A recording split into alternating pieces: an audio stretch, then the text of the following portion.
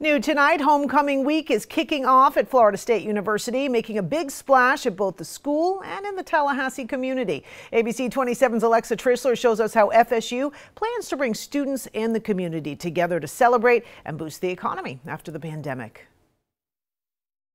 Organizers say Homecoming Week plus the game on Saturday will have a big impact on the local economy, especially since last year's events were so impacted by the pandemic. Restaurants, businesses, hotels are booked. Kevin Olson is the advisor for the Florida State University Homecoming Council. He says thousands of people are expected to come out for Homecoming Week between events happening every day on campus, the parade, concert, and tailgates, all leading up to the homecoming game. And it's not just for students. Staff, alumni, and the entire community is welcome to celebrate, something sophomore Corinne Lara is really looking forward to. It's really strong, like bonding opportunity. The game itself will draw 50 to 60,000 people, plus thousands of alumni are expected to come back. And of course, different schools and divisions are all hosting separate events and tailgates. Julie Decker, the president and CEO of the FSU Alumni Association, says this will mean big for the entire area. For people to come back who probably haven't been here for a year or two, they're going to see a lot of wonderful changes and growth. Chloe Bontu is performing in Friday's events with her group,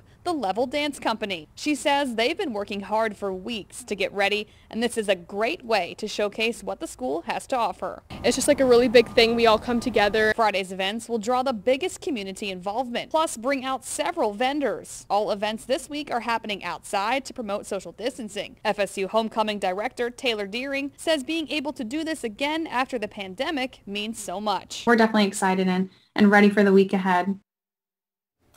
And homecoming week kicks off tonight with Spirit Night on Landis Green. That's at 7. And homecoming parade's happening on Friday at 2 o'clock. And homecoming live starts at 8.